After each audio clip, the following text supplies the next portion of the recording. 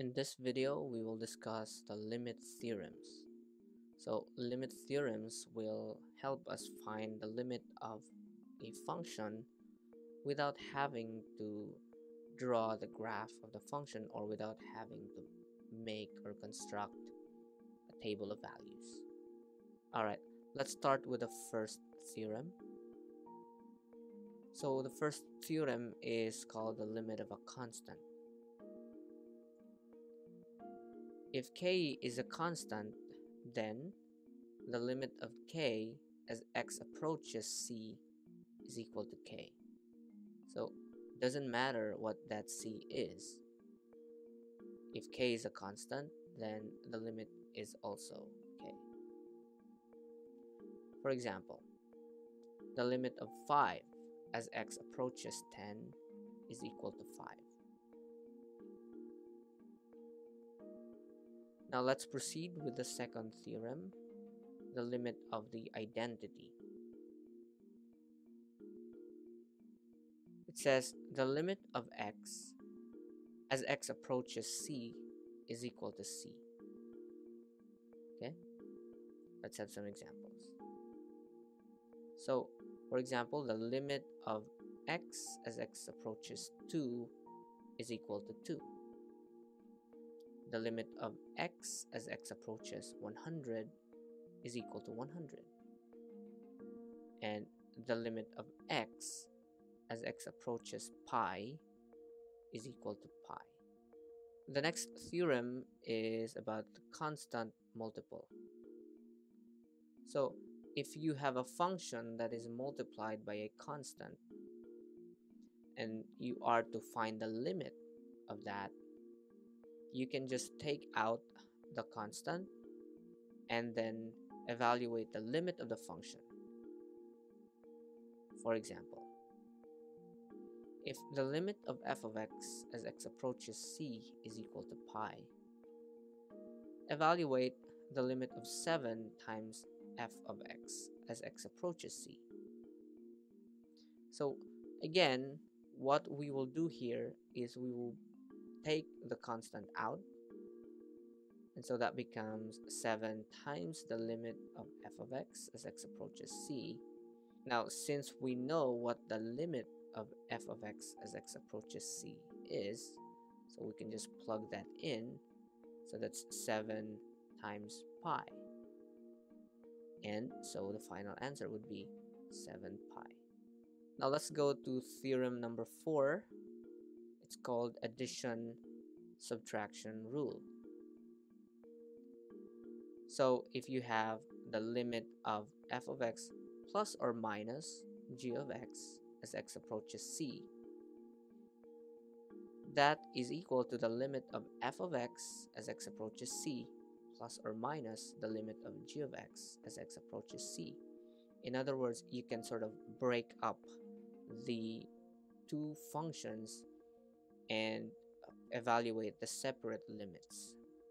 For example, if the limit of f of x as x approaches c is equal to 5, and the limit of g of x as x approaches c is equal to negative 4, what is the limit of f of x plus g of x as x approaches c?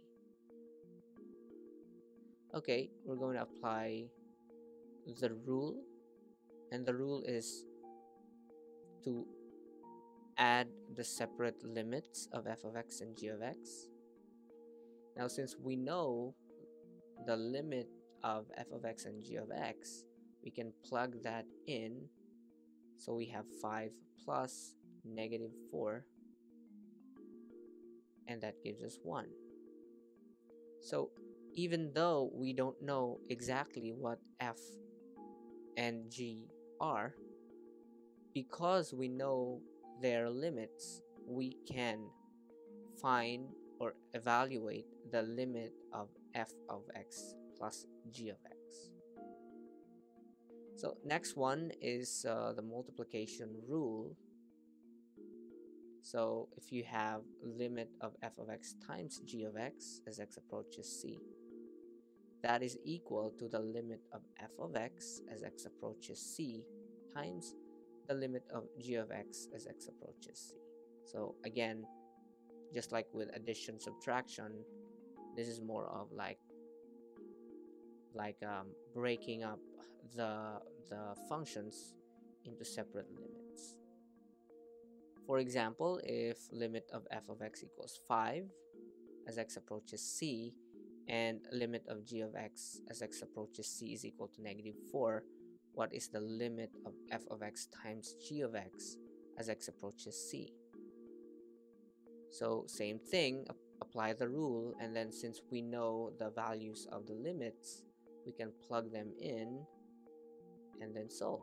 So the limit is negative 20. Theorem number 6 is about division. So it's the same thing really. For example, if you have limit of f of x equals 5 as x approaches c and limit of g of x is equal to negative 4 as x approaches c, what is the limit of f of x divided by g of x as x approaches c?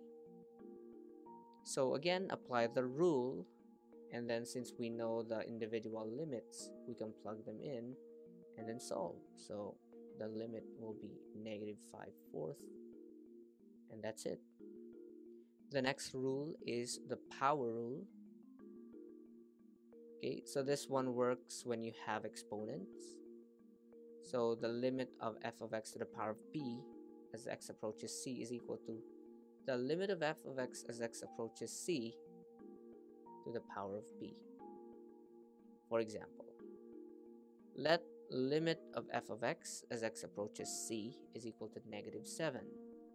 Evaluate the limit of f of x cubed as x approaches c. So apply the rule, okay, and plug in the values because we know what the limit of f of x is. So it's negative 7, plug that in, and then solve. So that's negative 343. Okay, this one's the last theorem. It's called the radical root theorem. So here's the statement. The limit of the nth root of f of x as x approaches c is equal to the nth root of the limit of f of x as x approaches c. So just like with the power rule, we can put everything, including the limit, we can put everything inside the radical. Example, let the limit of f of x equals negative 27 as x approaches c.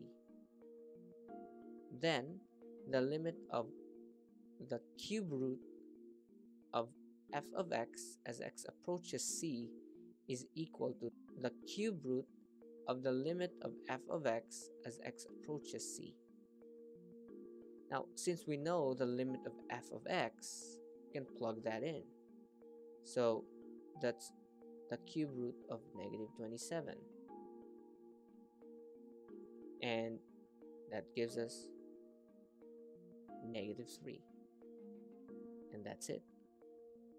So, th these are the rules that we can apply these are the rules that we can use to find the limit of functions without having to draw a graph or to create table of values.